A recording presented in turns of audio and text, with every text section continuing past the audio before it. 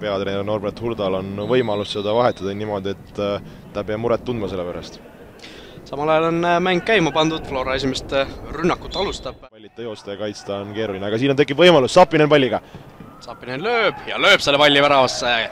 kolmteist minutit ja kakskümmend neli sekundit läks aega FC Floral, et see et see Santose kaitseliin siin murda, Rauno Sappinen on see mees, kes kes palli värasse paneb, no Sappineni hooaeg ei ole, ei ole tänavu olnud võib-olla kõige säravam just liigas, et jah, jäi seal roops ette Beglaršvili löögile.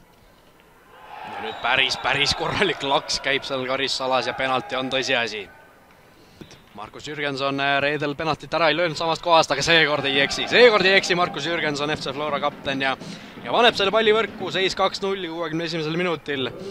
Jah, kui reedel suutis äh, Mihhail Starotuptsev siin äh, sellesama Markus Jürgensoni penalti tõrjuda, siis seekord äh, Jürgenson tundub, et oli omad järeldused teinud. jah, Saka näol jah, päris ja siit vaatame olukorda.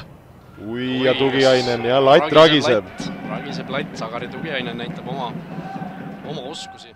Hulgast nii-öelda kaadriväliselt ära kattis, kes oli läinud. Ja siin tekib võimalus. võimalus, Jarmo Aviste läheb üks-ühele, Magnus Karofildiga suluseisu ei ole, kas Santos lööb auvärava ja lööb! Ja lööb auvärava Jarmo Aviste.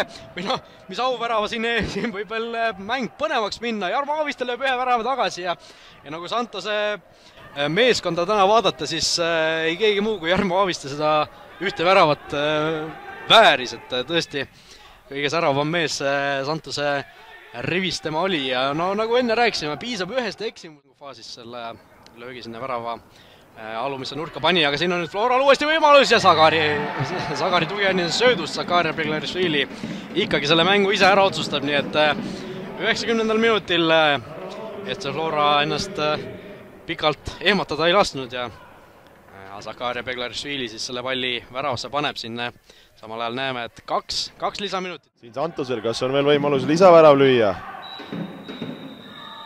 aga kohtunik vilistab lõpuvile ära. Flora Santos kolm-üks